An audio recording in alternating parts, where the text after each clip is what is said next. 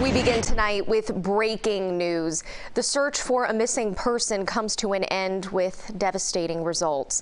Miami police say they have tentatively ID'd the body of Diana Gomez Sanchez near the Pelican Harbor Marina. The 16 year old went missing yesterday morning around 6 a.m. after going for a run. Now, police would not go into specifics on who found Sanchez or her cause of death, but they do say they believe foul play is involved.